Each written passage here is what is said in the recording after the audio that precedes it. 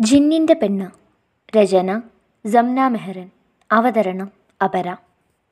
ഒരിക്കലും ഞാനില്ലാതെ ഒന്നും ചെയ്യാത്ത ആളായിരുന്നു. ഇപ്പം എന്നെ പരിചയമുണ്ടെന്ന് പറയാൻ പോലും വയ്യ. പണ്ടൊക്കെ എന്റെ എന്ത് കാര്യത്തിനും മുന്നിൽ റിച്ചുവൊക്കെ ഉണ്ടായിരുന്നു. എന്നെക്കാൾ നാല് വയസ്സിന് മൂത്തതായതുകൊണ്ട് തന്നെ എല്ലായിടത്തും എന്റെ സംരക്ഷണ ചുമതല ഏറ്റെടുത്ത് നടന്നിരുന്നു. ആദ്യമായി സ്കൂളിൽ കൈ പിടിച്ചു കൊണ്ടുപോയത് റിച്ചുവിക്കായിരുന്നു ഉമ്മയും ഉപ്പായും പോയതിനല്ല. റിച്ചുവിക്ക ക്ലാസ്സിൽ എന്നെ തനിച്ചാക്കി പോയതിനായിരുന്നു ഞാനൊന്ന് ഉറക്ക കരഞ്ഞത്. എന്നെയും ശബാന അജു റോഹു എന്നിവരെ നോക്കുന്നതും സ്കൂളിൽ കൊണ്ടുപോകുന്നതും തിരിച്ചു കൊണ്ടുവരുന്നതും റിച്ചുവിക്കയും മെഹഫിയായിരുന്നു മൂന്നാം ക്ലാസ് പഠിക്കുമ്പോൾ കൂടെ പഠിക്കുന്ന ചെക്കൻ ഞാൻ സംന മെഹറിനെയാ കല്യാണം കഴിക്കുന്നത് എന്ന് ക്ലാസ് പറഞ്ഞു. ഞാൻ അവൻ രണ്ട് അടി കൊടുത്ത് കൂടെ രണ്ട് മാന്തും എന്നിട്ട് പറഞ്ഞു എന്നെ കല്യാണം കഴിക്കാൻ പോണതേ റിച്ചുവിക്കയാണ്. അന്ന് സ്കൂൾ വിട്ട് വരും വഴി ഞാൻ റിച്ചുവിക്കാനോട് പറഞ്ഞു എന്നെ വേഗം കല്യാണം കഴിക്കുമോ എന്റെ ചോദ്യം കേട്ട് എല്ലാവരും എന്നെ കളിയാക്കി ചിരിക്കാൻ തുടങ്ങി. റിച്ചുവൊക്കെ മാത്രം ചിരിച്ചില്ല. എന്നോട് ചോദിച്ചു ഇപ്പോൾ എന്താ മെഹ്റൂൻ അങ്ങനെ തോന്നാൻ കാരണമെന്ന്? എന്നെ റിയാസാണ് കെട്ടാൻ പോകുന്നതെന്ന് അവൻ ക്ലാസ് പറഞ്ഞു എന്ന് പറഞ്ഞു. അതെങ്ങനെ ശരിയാവും? ഞാൻ ഇക്കാനല്ലേ കെട്ടാൻ പോകുന്നത്? അത് കേട്ട് റിച്ചുവിക്ക് ചിരിച്ചിട്ട് പറഞ്ഞു ഇപ്പോഴല്ല കല്യാണം കഴിക്കുന്നത്? നമ്മൾ വലുതായിട്ട് അന്ന് റിച്ചു മെഹ്റൂനെ മാത്രമേ കിട്ടൂ. ഒരു എട്ട് വയസ്സുകാരിക്ക് പന്ത്രണ്ട് വയസ്സുകാരൻ നൽകുന്ന വാക്ക്. അന്നും എന്റെ ബെസ്റ്റ് അജുവും റോഹു ഷബാനയായിരുന്നു അങ്ങനെ ഞങ്ങൾ വളർന്നു. എന്റെ ഒപ്പം കുസൃതികളും റിച്ചുവിന്റെ ഒപ്പം കലിപ്പും. ഞങ്ങൾ ഏഴിലും റിച്ചുവയ്ക്കൊക്കെ പ്ലസ് വണ്ണിനും പഠിക്കുന്ന ടൈം. ഞങ്ങളുടെ ഇടയിൽ സ്നേഹം മാറി ദേഷ്യം സ്റ്റാർട്ടായ ടൈം. സ്പോർട്സ് ഡേ നടക്കുന്ന ദിവസമായിരുന്നു സ്കൂളിൽ റിച്ചുക്കാടെ എതിർ ടീം പ്ലസ് ടുക്കാരായിരുന്നു. റിച്ചുക്കാടെയും മെഫിക്കായുടെയും മെയിൻ ഐറ്റം ഫുട്ബോളാണ്. റിച്ചുവിന്റെ ബൂട്ട്സ് ഇരുന്നത് എന്റെ കയ്യിലായിരുന്നു. ഞാൻ എന്റെ ബാഗിൽ അത് ഭദ്രമാക്കി വെച്ച് ക്ലാസ്സിലിരുന്നപ്പോഴാണ് ഷബാന വന്നെന്നെ വിളിച്ചത്. അജുവും റോഹുവും വിളിക്കുന്നു എന്ന് പറഞ്ഞു. ഞാനും അവളും കൂടി അവമാരുടെ അടുത്ത് പോയി. അവർ റിലേക്കുള്ള തയ്യാറെടുപ്പിലായിരുന്നു. അപ്പോഴേക്ക് റിച്ചുവൊക്കെ ബൂട്ട്സ് എടുത്ത് തരാൻ വന്ന് വിളിച്ചു. ഞങ്ങൾ ബൂട്ട്സ് എടുക്കാനായി ക്ലാസ്സിലേക്ക് പോയപ്പോൾ ഫൈസലിക്കയും ടീമും വന്നു. അവരാണ് റിച്ചുവിന്റെ എതിർ ടീം നെഹ്റു ഞങ്ങൾക്കൊരു ബെസ്റ്റ് വിഷസ് പറയാമോ? ഫൈസലിക്ക എന്റെ ഉമ്മാന്റെ ആങ്ങളയുടെ മകനാണ്. ബെസ്റ്റ് വിഷസ് ഫൈസൽക്ക റിച്ചു ദേഷ്യത്തോടെ നീ എന്തിനാ അവന് വിഷസ് പറയാൻ പോയേ? അത് വെറും വിഷസ് അല്ലേ? പോട്ടെ റിച്ചിക്ക. ഞാൻ എന്ത് പറഞ്ഞിട്ടും റിച്ചുവിന്റെ ദേഷ്യം കുറഞ്ഞില്ല. ഞാൻ ക്ലാസ്സിലെത്തി ബാഗ് തുറന്നു. പക്ഷെ അതിൽ ബൂട്ട്സ് ഇല്ലായിരുന്നു. അപ്പോഴേക്കും ഗ്രൗണ്ടിൽ ഫുട്ബോൾ ടീം എത്തിച്ചേരുക എന്നുള്ള അനൗൺസ്മെന്റ് കേട്ടു. മെഹ്റു വേഗം ബൂട്ട്സ് എടുത്തേ ഞാൻ പോയി റിപ്പോർട്ട് ചെയ്യട്ടെ.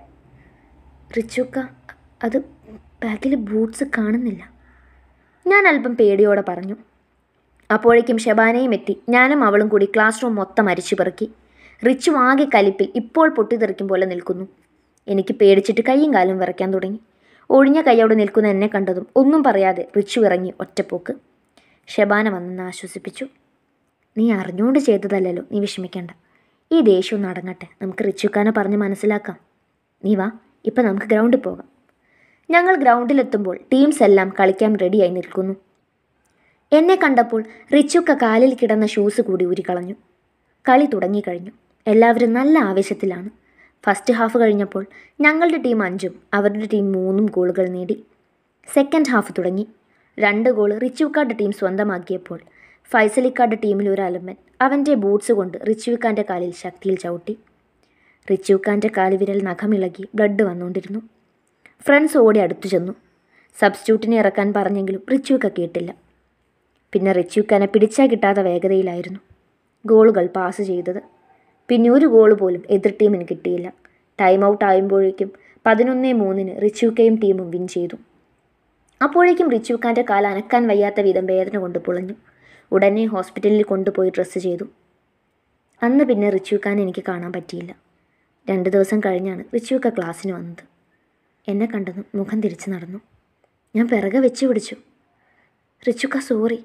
ബൂട്ട്സ് സത്യമായി എവിടെ പോയെന്ന് എനിക്കറിയില്ല. എന്നിട്ടും നോ രക്ഷ. എന്നോട് മിണ്ടുന്നതേയില്ല സ്കൂൾ ടൈം കഴിഞ്ഞ് എല്ലാവരും ഗേറ്റിൽ ഒത്തുകൂടി. പതിയെ വീട്ടിലേക്ക് നടക്കാൻ തുടങ്ങിയതും മഴ വന്നതും ഒരുമിച്ചായിരുന്നു. ഞങ്ങളെല്ലാവരും അന്ന് തറവാട്ടിലായിരുന്നു. ഞാനും അജുവും റോഹുവും മേഫിയൊക്കെയും ഷബാനയും പിന്നെ റിച്ചുക്കയും. ഞങ്ങൾ കുട ഉണ്ടായിട്ടും എടുക്കാതെ ചെറിയ ചാറ്റിൽ മഴ നനഞ്ഞു നടന്നു. പോകുന്ന വഴി മെഹഫീക്ക എല്ലാവർക്കും കുൽഫി വാങ്ങി തന്നു. അപ്പോഴും റിച്ചുവയ്ക്ക് എന്നോട് മിണ്ടുന്നില്ല. ഞാൻ എത്ര നോക്കിയിട്ടും ഒരു മൈൻഡും ഇല്ല. മെയിൻ റോഡ് കഴിഞ്ഞാൽ തറവാട്ടി പെട്ടെന്ന് എത്താൻ പിന്നെ ഒരാൾ ആൾതാമസം ഇല്ലാത്ത ഇടവഴി വേണം പോകാൻ. അവിടെ എത്തിയപ്പോഴേക്കും കുൽഫി എന്റേത് തീർന്നു. ഞാൻ എല്ലാവരുടെയും കയ്യിൽ നോക്കി. അജുവിന്റെയും റോഹുവിന്റെയും തീർന്നിരുന്നു. പിന്നെയുള്ളത് ഷബാനയുടെയും മേഫിക്കയുടേതാണ് അവർ രണ്ടാളും എന്തോ പറഞ്ഞ് ചിരിച്ചുകൊണ്ട് വരുന്നു. അവരെ കുൽഫിയും ഓൾമോസ്റ്റ് തീരാറായി. അപ്പോഴാണ് എനിക്ക് മുന്നേ പോണ റിച്ചുക്കാന്റെ കയ്യിൽ നോക്കിയത്. അതിൽ പകുതിയുണ്ട്. പിന്നെ ഒന്നും നോക്കിയില്ല. അതും തട്ടിപ്പറിച്ചുകൊണ്ട് ഞാൻ ഓടി. റിച്ചുവിക്ക് എന്റെ പിറകെയും അപ്പോഴാണ് ഞങ്ങൾ സൽമാനെ കണ്ടത്. അന്ന് ഇക്കാടെ കാൽ ചവിട്ടി മുറിച്ച ആളില്ലേ അവൻ. അവൻ സൈക്കിൾ ചവിട്ടി ഒറ്റയ്ക്ക് വരുന്നു. പുലിക്കൂട്ടിൽ തനിച്ച് വന്ന് കയറുന്ന ആട്ടിൻകുട്ടിയെപ്പോലെ റിച്ച് പോയി ഒറ്റ ചവിട്ട് വെച്ച് കൊടുത്തു. അവനും സൈക്കിളും കൂടി മലർന്നു കിടക്കുന്നു ചെളിവെള്ളത്തിൽ. പിന്നെ ആറഞ്ചം പോറഞ്ചം ഇടിയോടിട്ടി മേഫിക്കയും റിച്ചുവിക്കയും കൂടി അവനെ ചെളിവെള്ളത്തിലിട്ട് ഉരുട്ടി. ഞങ്ങളല്ലാതെ ഒരു ഈച്ച പോലും ആ പരിസരത്തില്ലായിരുന്നു. ഞാൻ നോക്കുമ്പോൾ സൽമാന്റെ മൂക്ക് പൊട്ടി ചോര വരുന്നു. അത് കണ്ടപ്പോൾ എനിക്ക് പേടിയായി. ഞങ്ങൾ പോയി എങ്ങനെയെങ്കിലും ഇക്കമാരെ പിടിച്ചു മാറ്റി. പക്ഷേ റിച്ചുവക്ക് ഒരു തരത്തിലും ഇടി നിർത്തുന്നില്ല.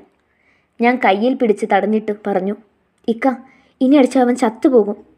ചത്തു പോട്ടെ എന്നും പറഞ്ഞ് ഇക്ക വീണ്ടും ഇടിക്കാൻ തുടങ്ങി. ഇനിയും ഇടിച്ചാൽ ഞാൻ മാമാടെ അടുത്ത് പറഞ്ഞു കൊടുക്കും റിച്ചുക്ക.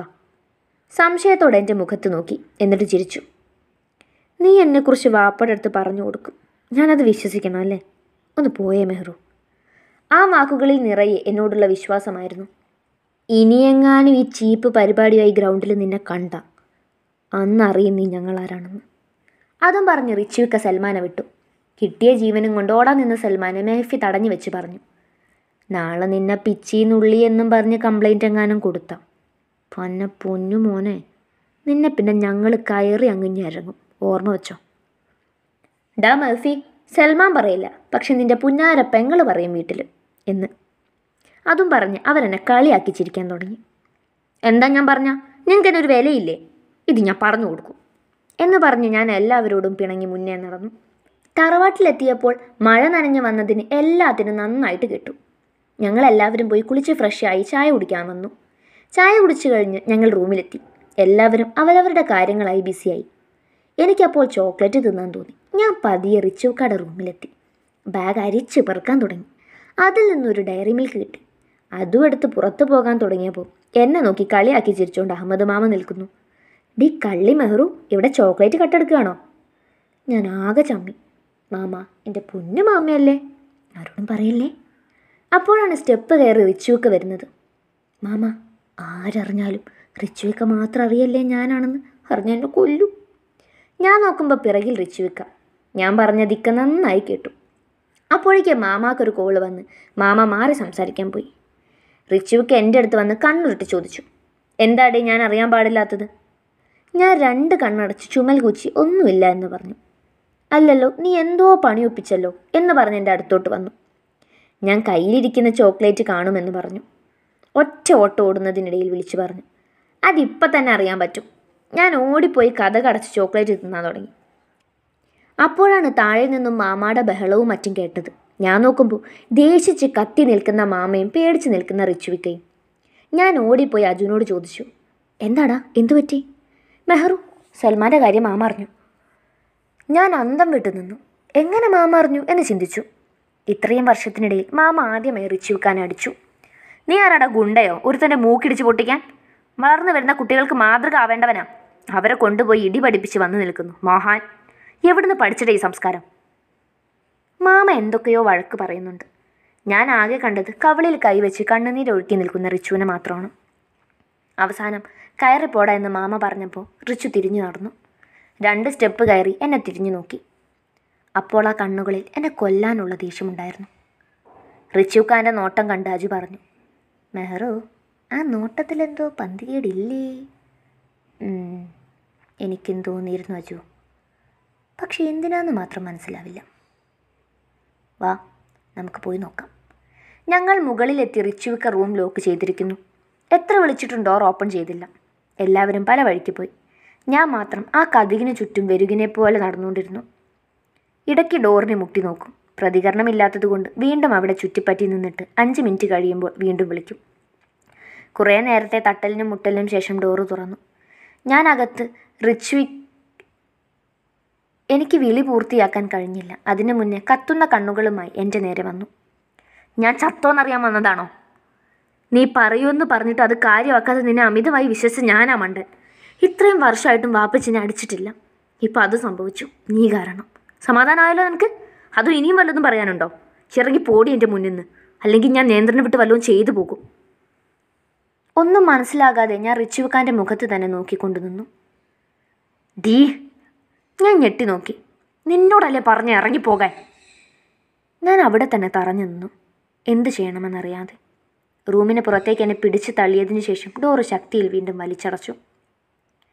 ഞാൻ എങ്ങനെയോ റൂമിലെത്തി. അവിടെ ശബാന ഉണ്ടായിരുന്നു. അവളെ കണ്ടതും എനിക്ക് നിയന്ത്രിക്കാൻ കഴിഞ്ഞില്ല. അവളെ കെട്ടിപ്പിടിച്ച് കരയുന്നതിനിടയിൽ എല്ലാം അവളോട് പറഞ്ഞു. എനിക്കൊപ്പം അവളും കരഞ്ഞുപോയി. അപ്പോഴേക്കും അജുവും റോഹുവും എത്തി. എന്റെ അവസ്ഥ അവരെ വിഷമിപ്പിച്ചു. എന്നെയും കൊണ്ടവർ വീണ്ടും റിച്ചുക്കാന്റെ റൂമിലെത്തി. ഇക്ക മെഹറു അങ്ങനെ പറഞ്ഞു കൊടുക്കുമെന്ന് കരുതുന്നുണ്ടോ? ശബാന ഇവൾക്ക് വക്കാലത്തായി വന്നതാണോ നീ? വക്കാലത്തല്ലേക്ക എന്റെ വിശ്വാസമാണ്. അവൾ അങ്ങനെ ചെയ്യില്ല. ശബാൻ ഉറപ്പിച്ച് പറഞ്ഞു. നമ്മുടെ മെഹറു അല്ലേക്ക അവൾ അങ്ങനെ ചെയ്യില്ല. ഞങ്ങൾക്ക് ഉറപ്പുണ്ട്. റോഹുവും അജുവും ഒരേ സ്വരത്തിൽ ആവർത്തിച്ച് പറഞ്ഞു. ഞാൻ കേട്ടതാ. എന്റെ ചെവി കൊണ്ട് അവൾ വാപ്പിച്ചിട്ടടുത്ത് പറയുന്നത്. ഞാൻ അങ്ങനെ അല്ല റിച്ചുക്ക പറഞ്ഞത്. പിന്നെ എങ്ങനെയാടി നീ പറഞ്ഞേ? എന്റെ കാതുകളെ ഞാൻ അവിശ്വസിക്കാനാണോ? പറയടി. ആരറിഞ്ഞാലും റിച്ചുക്ക് അറിയല്ലേ എന്ന് നീ വാപ്പയോട് പറഞ്ഞതോ? പറഞ്ഞു. പക്ഷെ അത് നീ ഇനി ഒന്നും പറയണ്ട. ഞാൻ കേട്ട് ബോധിച്ചതിനേക്കാളും ഒന്നും ആർക്കും പറയാനില്ലല്ലോ. ഉണ്ടെങ്കിൽ എനിക്ക് കേൾക്കുകയും വേണ്ട. എല്ലാവരും ഒന്ന് പോയേ. ആർക്കും ഒന്നും പറയാനില്ലായിരുന്നു. ദിവസങ്ങൾ കഴിഞ്ഞുകൊണ്ടിരുന്നു. റിച്ചുവൊക്കെ ഞാനും പരസ്പരം മിണ്ടാത്തതൊഴിച്ചാൽ ബാക്കിയെല്ലാം പതിവ് പോലെ നടന്നുപോയി. ഇതിനിടയ്ക്ക് ഞങ്ങളെ പണക്കം മാറ്റാനുള്ള അവരുടെ പല ശ്രമങ്ങളും പാഴായിപ്പോയി. എനിക്കും വാശിയായി. ചെയ്യാത്ത കുറ്റത്തിന് ഞാൻ എന്തിനു കാൽ പിടിക്കാൻ പോകണം ഇനി ഇങ്ങോട്ട് മിണ്ടിയിട്ട് മിണ്ടിയാൽ മതി. ദിവസങ്ങൾ കടന്നു പോയിക്കൊണ്ടിരുന്നു ക്രിസ്മസ് സെലിബ്രേഷൻ ടൈമായി സ്കൂളിൽ ഭയങ്കര സെലിബ്രേഷനാണ്. ഞങ്ങളുടെ സ്കൂളിൽ ഏറ്റവും നല്ല പുൽക്കൂട് ഒരുക്കുന്ന ക്ലാസ്സിനാണ് സമ്മാനം കിട്ടുക. ഞങ്ങൾ രാവിലെ സ്കൂളിലെത്തി. പ്രയർ ഹാളിൽ പോയി പ്രയറിന് ശേഷം ക്ലാസ്സുകളിലെത്തി പുൽക്കൂടുണ്ടാക്കുന്ന തിരക്കിലാണ്. ഏകദേശം ഞങ്ങളുടെ പണിയെല്ലാം തീർന്നു. പക്ഷേ ഉണ്ണിയേശുവിനെ കൊണ്ടുവരാനെന്ന് പറഞ്ഞ് എബിൻ മാത്രം വന്നില്ല. ഉണ്ണിയേശു ഇല്ലാതെ എന്ത് പുൽക്കൂട്? ഞങ്ങളെല്ലാവരും ടെൻഷൻ അടിച്ചു നടന്നു. പതിനൊന്ന് മണിയാവുമ്പോൾ എല്ലാവരും ഓഡിറ്റോറിയത്തിലെത്തണം ക്ലാസ്സിൽ ആരും ഉണ്ടാവാൻ പാടില്ല. ടീച്ചേഴ്സ് പോയി പുൽക്കൂടിന് മാർക്കിട്ട് ഫസ്റ്റ് ആർക്കാണ് കിട്ടിയതെന്ന് അനൗൺസ് ചെയ്യും. ഉച്ചയ്ക്ക് ശേഷം വേറെ കലാപരിപാടികളുണ്ട്. വളരെ നന്നായി ഞങ്ങൾ പുൽക്കൂട് നിർമ്മിച്ചു. പക്ഷേ ഉണ്ണിയേശു ഇല്ലാതെ എന്ത് പുൽക്കൂട്? ഓഡിറ്റോറിയത്തിൽ എത്താനുള്ള അനൗൺസ്മെന്റ് വന്നു. ഞങ്ങൾ ഒരു ക്ലാസ് മാത്രം എന്ത് ചെയ്യണമെന്നറിയാതെ നിന്നു. പെട്ടെന്ന് തോന്നിയ ഐഡിയയിൽ ഞാൻ പറഞ്ഞു നിങ്ങളെല്ലാവരും ഓഡിറ്റോറിയത്തിലേക്ക് പൊയ്ക്കോ. എന്തായാലും ഉണ്ണിയേശു ഇല്ലാത്തതിന്റെ പേരിൽ നമ്മൾ നാണം കിടില്ല. അത് ഞാൻ തരുന്ന വാക്കാം. നിങ്ങൾ പൊയ്ക്കോ. ഞാൻ കൊടുത്ത വാക്കിന്റെ പുറത്ത് എല്ലാ എണ്ണവും മനസ്സിലാ മനസ്സൂടെ പോയി. എന്താ മെഹർ ഉദ്ദേശം? അടിച്ചു മാറ്റലു അല്ലാതെന്ത്? നിങ്ങൾ രണ്ടാളും ഇവിടെ ഉണ്ടാവണം. ഞാനും ശബാനയും കൂടി പോകും ഓക്കെ? അജുവിനെയും റോഹുവിനെയും സെക്യൂരിറ്റി പണിക്ക് നിർത്തിയിട്ട് ഞങ്ങൾ മോഷണത്തിനിറങ്ങി. അടുക്കളയിൽ നിന്ന് മല്ലറ ചില്ലറ മോഷണം നടത്തുന്നതിന്റെ എക്സ്പീരിയൻസ് മാത്രം വെച്ചുകൊണ്ട് ഞങ്ങൾ നേരെ ഒൻപതാം ക്ലാസ് കയറി. ആഹാ ഇവരുണ്ണിയേശു മതി. അല്ലെങ്കിൽ ഈ ക്ലാസ്സിലെ കുട്ടികൾ ജാടത്തണ്ടികളാണ്. പതിയെ ഞങ്ങൾ നടന്ന് പുൽക്കൂട്ടിൽ നിന്നും ഉണ്ണിയേശുവിനെ അടിച്ചു മാറ്റി. കർത്താവേ കാത്തോളണേ. പിന്നെ ഒന്നും നോക്കിയില്ല. ചാടി ക്ലാസ്സിന് വെളിയിൽ ഇറങ്ങിയതും റിച്ചുക്കയും മേഫിയും. അവർ ഞങ്ങളെ സംശയത്തോടെ നോക്കി.